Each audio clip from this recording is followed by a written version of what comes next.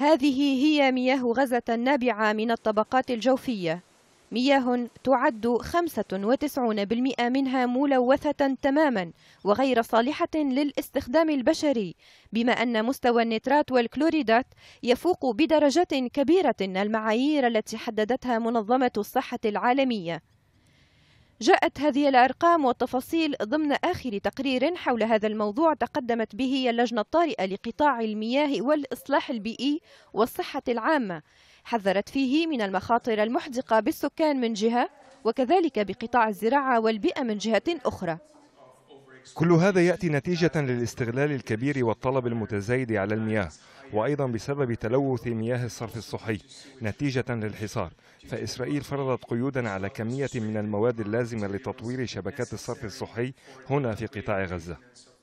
الاحتلال الإسرائيلي الخانق الذي تعيشه المنطقة والذي منع كل عمليات تطوير أو صيانة لشبكات الصرف الصحي من جهة وكذلك الكثافة السكانية العالية في غزة والتي اضطرت المسؤولين إلى الإفراط في الضخ من المياه الجوفية بغية تحقيق الاكتفاء الذاتي في المياه.